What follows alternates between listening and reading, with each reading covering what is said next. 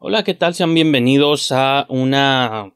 no sé ni siquiera cómo presentarlo. Es una especie de secuela espiritual de mis Brihandes Reviews que hice hace 4 o 5 años aquí en el canal y algunos de ellos ocasionalmente todavía reciben comentarios, lo cual me da gusto, como el video de Blame de Queen Shepard. Diario recibe como un comentario o dos nuevos, entonces eso se me hace como muy suave. Pero no es necesariamente eso, y tampoco pues es parte de los programas que sacamos todas las semanas aquí, todos los martes y los viernes, un show nuevo, ya lo saben, tenemos paneles de hosts rotantes y ocasionalmente también hay invitados este, con los que me gusta platicar sobre su craft de hacer cine o cómo abordan la producción de cine. Pues también tenemos la serie 8 My Shorts donde analizamos no tratamos de redescubrir, desempolvar, analizar y también cómo no burlarnos de viejos cortometrajes hechos en Tijuana a lo largo de la historia del cine, ¿no? Bueno, de la historia reciente del cine, ¿no? Que podría ser como los post 2000 entonces, bueno, eso solo como una introducción a lo que tenemos aquí en el canal pues, y mencionar pues que este video tiene más relación con una reseña individual que con cualquiera de estas otras cosas.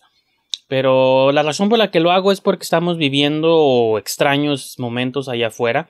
No tiene mucho que los cines finalmente han abierto en, México. Abrieron hace unas cuantas semanas alrededor del país. Yo vivo aquí en Baja California, en Tijuana. Apenas van como dos semanas que abrieron los cines. Entonces, pues les quiero platicar un poco como la experiencia de no de ir al cine, no, no de haber ido al cine. Esa experiencia ya la platiqué en algunos programas previos de estos que usualmente encuentran aquí en el canal, sino en particular de las movies que vi, ¿no? Y pues la idea es comenzar a hacer una serie de reseñas sobre las películas que estamos viendo en cartelera en los cines, ahorita que los cines están abriendo.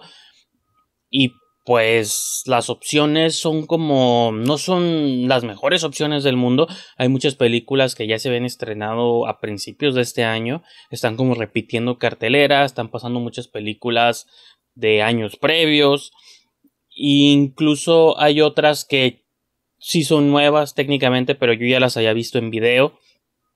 Eh, muchos que habían salido ya originalmente en digital, plataformas, legal o ilegalmente. Pues que yo pensaba que en mi vida iban a llegar aquí a salas este, de México, porque no sabíamos cuándo iban a abrir realmente. Pues bueno, muchas de ellas también ya las vimos. Entonces ha habido otras tantas que creo que los que van a salir un poco beneficiados de todo esto, y pongo el beneficiados entre comillas, porque yo lo había posteado en, Facebook hace, hace, mucho tiempo, de que ante estos estrenos masivos, eh, cambiando sus fechas, o sea, estos blockbusters, ¿no? Las películas de Disney, las de Marvel, este, los de James Bond, o sea, todos los que son blockbusters de acción para llenar salas, mientras todas estas películas estén cambiando sus fechas de estreno, las que de algún modo van a aprovechar esta poca afluencia o lo que sea como se le pueda llamar pues son las pequeñas películas, las pequeñas películas independientes que no tengan opción, que se atrevan a aventarse al, ruedo. Y en particular creo que la que otra arista que quizá no había evaluado mucho, pero que me estoy dando cuenta conforme están programando las carteleras, es el cine mexicano. El cine mexicano es un cine que usualmente no tiene muchas oportunidades en cartelera. Siempre escuchamos el mito este de vayan el primer fin de semana, es muy importante, vean la película, todas estas cosas. Y ahora me he estado dando cuenta que las películas, como no hay opciones o falta de opciones, pueden durar un poco más.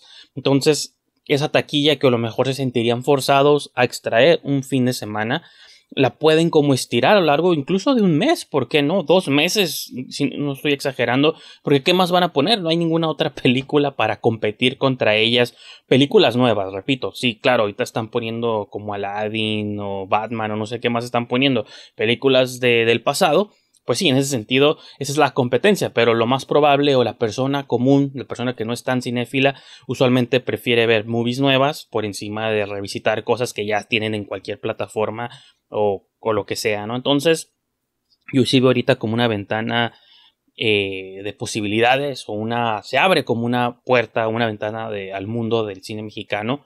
Eh, entonces, la primera película que vi en cuanto abrieron los cines, esta fue en Cinepolis, y fue Retrato de una mujer en fuego, Retrato de una mujer en llamas, siempre se me olvida el nombre, pero es Portrait of a Lady on Fire, ¿no? Que ni siquiera es americana, es francesa, entonces tampoco me pidan recitar el nombre en, francés. Pero sí una película de la directora Celine Sciamma. Esta ya la había visto yo en video como por febrero, por aquellos, por aquellos meses. También porque esta es una película que sí sabía que probablemente se iba a estrenar en cartelera, pero fue mucho tiempo antes de la pandemia, entonces ya se había salido en digital. Dije, pues vamos a verla, ¿para qué esperar? No, sobre todo por el hype que venía atrás de esta movie. Y aunque ya hice mi review en uno de estos programas que les menciono, les quiero platicar brevemente como quizá algunos detalles sobre Portrait y luego pasamos a la que tal vez me extienda un poco más, que ya es una película mexicana llamada Amores Modernos. En particular, Portrait of a Lady on Fire eh, es una gran película. Salí, las dos veces que la he visto, la vi en video, luego la vi en cines. Salgo decepcionado conmigo mismo, no sé si a ustedes les pase, pero hay películas que son como tan elevadas y aclamadas y mega calificadas por todo el mundo. Creo que probablemente con Parasite les pasó a muchos, Parásitos, Parasite, de que cuando no has visto una movie y todo el mundo está hablando maravillas de ella, como es la mejor película del año, incluso Parasite peor porque esa literal sí ganó en los Oscars como mejor película eh, del año, no solo extranjera, también este América, bueno, no es americana, pero el premio principal, ¿no? El galardón principal. Entonces, de Portrait of a Lady on Fire se habían escuchado cosas similares, una gran película, que es tu loto, las mejores películas del año, elevada por todos lados. Y las dos veces que la vi, la primera vez dijo que es por la experiencia de la primera vez. La segunda vez que la veo ya en cines, incluso ya con un sonido, una experiencia más inmersiva, terminé saliendo también con la misma sensación un poco vacía, de que siento que la anécdota podrá ser muy bonita, podrá ser muy elegante, tiene muchas cosas a su beneficio, 100% no termina, termino sintiéndola un tanto irrelevante como al final no pasó nada, ¿no?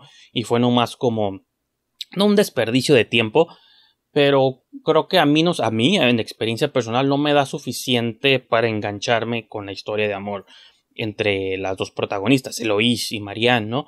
Pero lo que sucede, ahora sí que lo que sucede mientras sucede esta experiencia lo mucho más interesante y sobre todo lo que yo considero muy ingenioso es la manera en que la directora este, Shyama construye la historia de amor. Creo que o deconstruye más bien una historia de amor. Creo que ese es un elemento, el elemento más original de la película y el elemento que yo cuando la recomiendo, si es que la recomiendo, sería, sería por ese aspecto, la idea de cómo entendemos el amor y cómo deconstruimos el amor y esta idea de que es una pintora que tiene que pintar, valga la redundancia, a su, este, a una otra persona, a su sujeto, la tiene que ir armando como en partes, porque se supone que el sujeto o la chica la que tiene que pintar no debe saber que está siendo pintada, entonces tiene que estar siendo observada, dibujada en secreto y por partes, como hoy me voy a enfocar en los ojos, hoy en las manos, hoy en esta parte del cuerpo, hoy aquí acá, entonces se me hace como interesante esta idea o este análisis o esta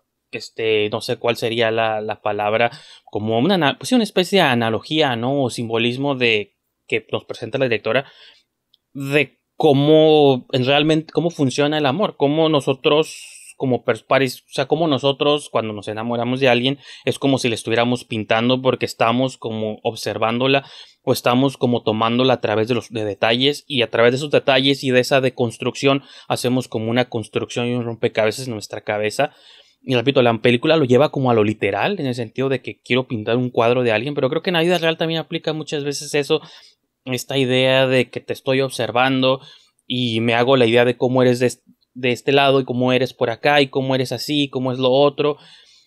Y no sabes realmente qué tanto eso es una construcción tuya, personal o individual, y qué tanto es una fantasía que tú te estás creando y naturalmente te estás enamorando de una fantasía. Y creo que eso es la que la película de algún modo plantea, porque lo que este romance que viven las dos chicas por muy un periodo de tiempo muy pequeño es una fantasía que las dos están viviendo a pesar de que sabemos que tarde o temprano van a llegar a un posible desenlace un tanto trágico, ¿no? Entonces, pues es, por ese lado, o sea, creo que, repito, creo que es una movie recomendable, sobre todo están interesados en cine romántico o en romances distintos, ¿no? Pienso mucho en películas como Carol, que me gustó mucho, películas como Copy by Your Name, que la odié, pero sé que tiene su séquito de seguidores y encontré muchas cosas eh, similares entre estas películas, entonces probablemente les pueda gustar si son fans de Call Me by Your Name. Eh, entonces, pues eso sería como la, la, mención sobre Portrait of a Lady on Fire. Es una gran movie, una gran opción, pero creo que es este, y lo mencionaba también en el, programa, ¿no? Aparte es una película francesa, entonces todo automáticamente suena mucho más poético y más romántico, ¿no? Pero ahora hablemos de otro tipo de amor, o lo que creo que pretendió ser otro tipo de amor, que es Amores Modernos de Matías Meyer. Eh, es un director del cual nunca había visto ningún trabajo previo, excepto cuando estaba checando su IMDB, vi que fue productor de Extraño pero verdadero. Y la cual fue una película, pues nomás la vi porque en, los créditos aparecía María Evoli y como saben, o los que siguen este canal sabrán o saben que soy este, bastante fan de, ella y de su trabajo. Pero, y aparte, pues, tiene un rol como de 10 segundos en la movie. Pero es una película como que reúne todas las cosas que más odio del cine mexicano, ¿no? Aparte en blanco y negro para acabarla de, de, molar. Pero esas tomas súper largas, porno miseria, trash. Es una película, no la vean, ¿no? Ni siquiera extraño, pero verdadero, no le dediquen como la parte del día. Entonces es la única referencia que yo tenía para Amores Modernos. Y sí, acá es productor, eh, extraño pero verdadero, la, dirigía, dejen saco aquí rápidamente el nombre, este, otra persona, Michelle Lipkes, pero aún así dije, bueno, ahí está la relación. Y Amores Modernos me deja una sensación también, no, no al mismo nivel de extraño pero verdadero, es una sensación completamente distinta creo que tiene de entrada grandes actores. Con, desde entrada, Ilse Salas, desde que la vi en las niñas. ¿Niñas bien? Sí, niñas bien se llama, Niñas mal, siempre la confundo. No me acuerdo si ella también sale en museo. Estoy mintiendo, la estoy confundiendo con alguien más, pero bueno. Y digo, sale completa como la tercia principal, por así, decirlo, junto a Andrés Almeida y Leonardo Ortiz Gris. Y pues nomás es una historia donde siento que no pasa nada nunca o nomás están pasando cosas, pero no, no hay un plot. Nomás son personajes que tienen que reunirse por alguna razón que ahorita voy a entrar en detalles. Y por otro lado, el título, o creo que la película pretendía ser, o quizás así se anuncia, si hay una película llamada Amores Modernos, y dentro de la movie ves como quizá diferentes tipos de amores Usualmente este tipo de películas tratan de hacer como alguna declaración o algún statement sobre los amores modernos, ¿no? Sobre cómo se viven los amores en el 2020 o 2019 cuando se haya filmado esta película. Y creo que en ese sentido no tiene nada inteligente que decir. Hay unos cuantos discursos dentro de la trama que pretenden como hacerte sentir, o sea, como esto es lo que pasa hoy en día, pero no, realmente no dice nada en ese sentido. Y sobre la historia es, es el fallecimiento de, o sea, la, esposa de un señor mayor. Entonces, pues los hijos van a regresar a la casa, a, pues a despedir a la señora, ¿no? Y pues ver a su papá que está enfermo de Alzheimer y pues ya ni siquiera se acuerda de, los hijos. Entonces están como los dos hijos principales, este que son el personaje de Almeida y de Ortiz Gris, pero luego llega una tercera persona que es Ilse Salas, y no sé qué tanto de esto sea spoiler o no, pero hay una historia, hay una relación que ella tenía también con este señor y con estos, estos hijos del, señor y ellos no saben quién es ella realmente. Y eso es como la historia principal, por así decirlo. Pero esa historia tan simple se extiende por los ochenta y tantos minutos que dura la movie, ¿no? O sea, de que van todos en el funeral por mucho tiempo o en el velorio y luego eh, Ilse Sala se va y luego la regresan y como que se estira esa cosa al punto de que no sabes, o sea, de, que no pasa nada, pues, no, cuando termina la movie y corren los créditos, dices, realmente no pasó nada en esta movie, nomás vimos como un día o dos días en la vida de estas personas. Y a lo mejor ese era el punto de la historia, pero creo que cuando haces estas películas de un día o dos días en la vida de personas, pues usualmente tratas de decir algo más que como simbolizar estos dos días representan como la vida completa de las personas, ¿no? Por así decirlo. Si estamos viendo 24, 48 horas en la vida de estos personajes, esas 48 horas deben ser como las 48 horas que simbolizan cómo estos personajes han vivido el resto de sus vidas. Y creo que la movie no logra eh, decir nada de, valor o de peso, referencia como a, esa, a, ese, a ese concepto lo extraño es de que no es una mala movie porque estos tres personajes principales te caen bien, a pesar de que unos son más chocosos que otros, como el personaje de Almeida, que creo que intencionalmente es chocoso, tiene una esposa que lo engaña, entonces, y, y como que sabe, entonces sí te quiere plantear como diferentes versiones del amor, por así decirlo. O sea, creo que eso por ahí iba como esta exploración. Pero al final 100% creo que no logra eh, traspasar el mensaje pero repito, lo interesante y mi análisis que yo hice en Letterboxd es de que no sé si la movie es no es, es buena solo porque no es mala, porque no es mala, es una movie que te sientas, la ves, te ríes un par de veces. Eh, repito, sin el personaje de Salas como al centro, creo que la movie tal vez no funcionaría del todo. Pero como que las historias aledañas, que ella con su novio, y luego hay una vecina embarazada, y también al final, cerca del final de la movie hay como un montaje o una subhistoria de la subhistoria que tiene que ver con la vecina embarazada que va a dar a luz. Y digo, sí, la movie empieza con una muerte y tiene que terminar con un nacimiento, y como que entiendo lo que querían hacer, pero la movie no, no te hace sentir nada, pues no, no logra como traspasar el mensaje, como que el mensaje estaba en la cabeza de la persona que escribió la historia, o incluso del director probablemente de Meyer, pero no pudo hacer esa traslación de lo que él tenía en su cabeza a lo que terminamos viendo en la pantalla, porque termina siendo como una experiencia más o menos entretenida, nunca aburrida, no te molesta, no te choca, pero al final termina siendo vacía, ¿no? Y no es como que debo exigirle a las movies de que no sean experiencias vacías, digo cuántas movies no hemos visto, pero usualmente eso se lo dejo a las películas de acción, a las películas, este, a la otras tipo de comedias. Hay ciertas movies que se les justifica que sean experiencias vacías porque te llevaron por otro tipo de montaña rusa de emociones.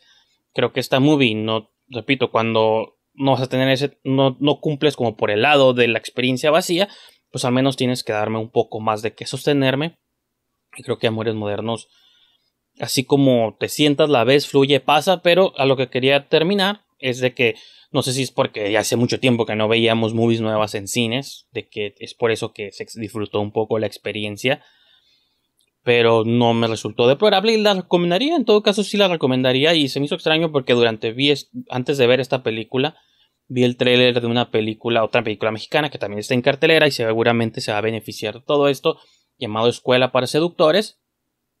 Y yo desde que vi el tráiler de Amores Modernos dije, esta es una movie que me habla y probablemente me interese y por eso la fui a ver. Cuando veo el tráiler de Escuela para Seductores digo, esta movie no es para mí, no sé si la vaya a ver, probablemente porque no hay opciones, pero ahí te das como cuenta. Entonces yo sí sugeriría bien el tráiler de Amores Modernos, si les habla o se les hace interesante, sobre todo por los visuales, los colores, muchos neones, rojos, azules, contrastantes. Es esta estética, ya saben, como muy neón de cierto cine. Eh, como el de Nicholas Winding Refn. Incluso por ahí usan una rola de Chromatics. Que son como estas referencias de esta escuela del cine de Nicholas Winding Refn. Pero repito, yo y como fan de Refn, creo que lo hace con una intención de explorar ciertas violencias, ¿no? Y ciertas cosas Amores Mueros ni siquiera hace otra cosa. Pero el soundtrack es uno de los elementos que más me llamaron la atención de, la película.